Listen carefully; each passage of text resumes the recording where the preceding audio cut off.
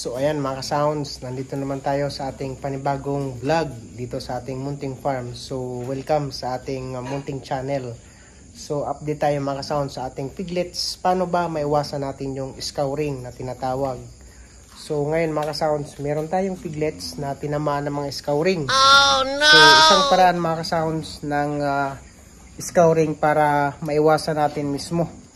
But dito mga sounds sa ating uh, Munting Farm, yung mga piglets natin na anak ni Aramina at saka Jimenez, tinamaan sila ng scouring. So, isang paraan na para maiwasan natin, but dito mga ka-sounds, yung nipple drinker na, ayan, nilagyan natin ng doxylin. So, isa din yan sa uh, paraan para maiwasan yung scouring. And then, magamot sila kasi pag pinabayaan mo yung piglets, talaga, isa-isa yan mamamatay. So, sayang naman kung pabayaan natin, kawawa naman sila. Ayan. So, ayan yung piglets natin na tinamaan mismo ng uh, scouring. But, based doon sa actual na pag-observe natin sa kanila, paano ba maiwasan yan? So, bumili tayo ng doxylin. Ayan. Yan yung doxylin na in-apply natin. Nilagay natin doon sa, ayan, nipple drinker. Doon sila uminom. Kasi, ang kagandahan ng doxylin mga kasounds, meron itong antimicrobial components. Yung antimicrobial components, isa yan sa uh, pumapatay ng mikrobyo sa mga piglets natin na dumadapo. And then, bukod doon, meron din yung essential vitamins na naiinom nila mismo. Pinaka-vitamins na para lumakas mismo yung katawan ng piglets. Bukod doon, uh, nagsisilbing immunity builder laban sa mga sakit na dadapo sa mga piglets natin, yung doxylin mismo.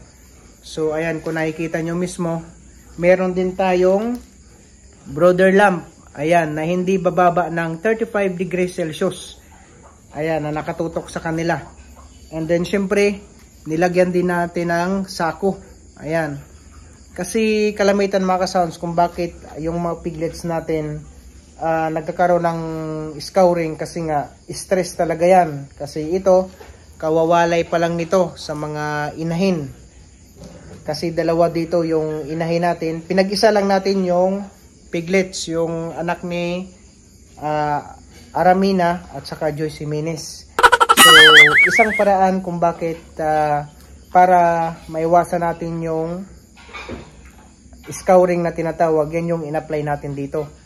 So as of now, mga ka-sounds, ayan. Ayan yung piglets natin. Medyo buo na yung dumi nila.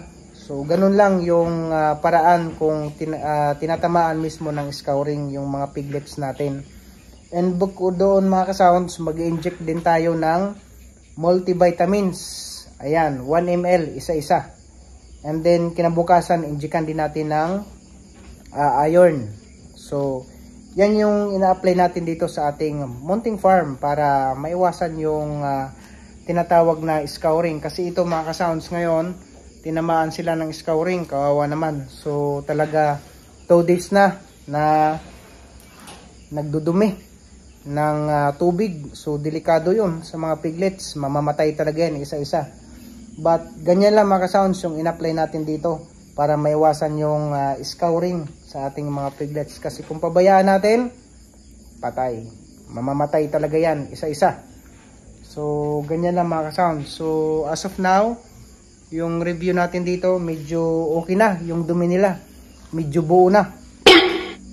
Unlike sa first day, second day, third day, talagang delikado kasi basang-basa yung dumi mismo. So, sa ngayon, pang 5 days na mga sounds, buo na yung dumi nila. So, ayan. Kasi yung inahin natin, winalay na natin. Ayan, ayan si Aramina. At saka ito namang isa, si Joyce Jimenez. So talaga may stress yung piglets natin. Normal yan mga ka-sounds na dumadapo sa ating mga piglets yung scouring.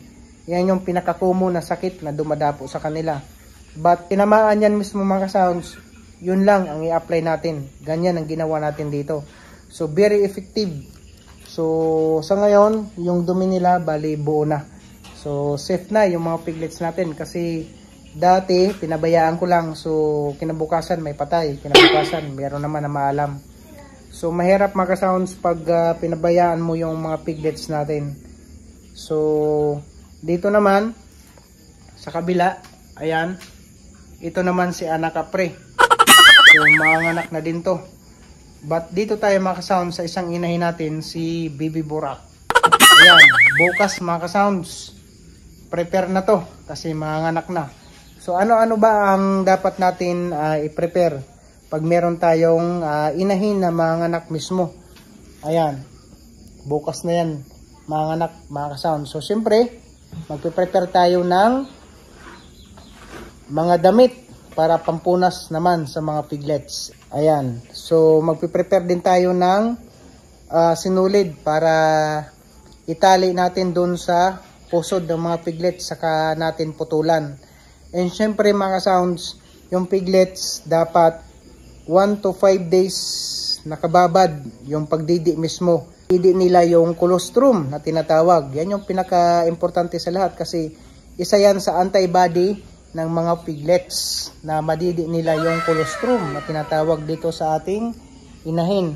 But pag lumabas na yung ah, inulnan or placenta ng inahin natin, so mag-inject naman tayo ng 10 ml na ah, vitamins B complex sa ating inahin. Ayan.